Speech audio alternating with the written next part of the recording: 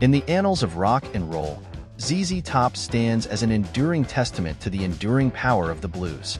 With their iconic trio of Billy Gibbons, Dusty Hill, and Frank Beard, the band has crafted a unique and timeless sound that has captivated audiences for decades.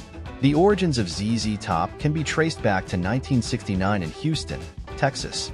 Billy Gibbons, a guitarist with a deep passion for blues and rock, teamed up with bassist Dusty Hill and drummer Frank Beard. The trio initially named themselves the Moving Sidewalks, but soon changed their name to ZZ Top, ostensibly inspired by a poster advertising zigzag rolling papers. Their early sound was heavily influenced by British blues rock bands like Cream and the Yardbirds. Their debut album, ZZ Top's first album, released in 1971, showcased their raw and energetic style. However, commercial success proved elusive during this period. In 1972, ZZ Top released their third album, Tres Hombres. This album marked a significant turning point in their career, featuring the hit singles La Grange and Jesus Just Left Chicago. The album's blend of bluesy riffs, boogie-woogie grooves, and Gibbons' distinctive guitar playing resonated with audiences and established ZZ Top as a major force in rock music. Throughout the 1970s and 1980s, ZZ Top continued to release a string of successful albums, including Fandango, 1975, Eliminator, 1983, and Afterburner, 1985.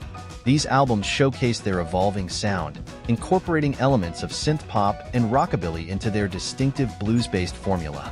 ZZ Top's image became as iconic as their music. The band's signature long beards, sunglasses, and Stetsons became synonymous with their brand. They embraced a humorous and self-deprecating style in their lyrics and videos, further endearing them to fans. Following the release of Afterburner, ZZ Top's commercial momentum slowed somewhat. However, they continued to release new music and tour extensively, maintaining a loyal and enthusiastic fan base. They have been inducted into the Rock and Roll Hall of Fame and have received numerous other accolades.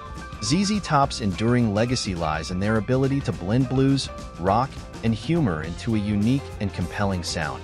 Their iconic beards and image have become instantly recognizable symbols of American rock music. The band has influenced countless other musicians, including Stevie Ray Vaughan, John Mayer, and Joe Bonamassa. Their music continues to be enjoyed by generations of fans, proving the timeless appeal of their blues-infused rock and roll. As the sun sets on ZZ Top's illustrious career, their impact on rock and roll remains undeniable.